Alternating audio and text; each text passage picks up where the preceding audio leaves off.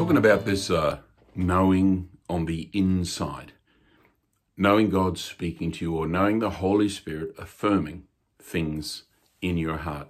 It's what the Bible calls an inward witness. You'll see it in Romans 8 16, and it's the primary way that God will speak to you and God will lead you.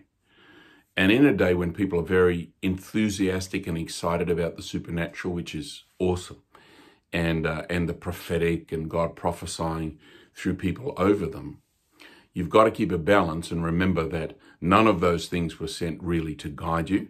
They were sent to affirm something that's already in your heart.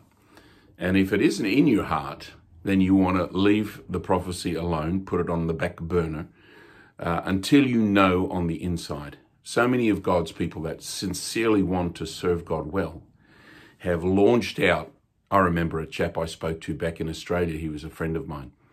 He was running a business. He was doing okay in that business, and he'd got born again in kind of middle age.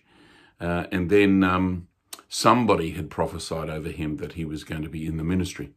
Um, now, I didn't think that was particularly likely at the time, and if I look back now, uh, that that certainly wasn't the case. But uh, I remember he gave it away in a way when he spoke to me, and he, he said, "Well, you know, I don't, I don't feel anything. I don't know, but apparently God's called me to the ministry."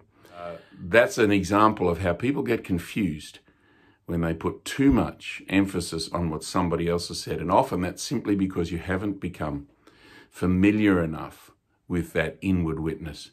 That's mostly how God will guide you.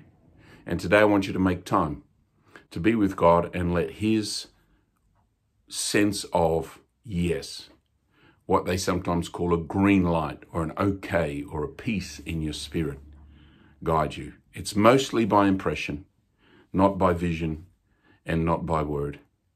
Those those things come as well. God bless you. See you soon.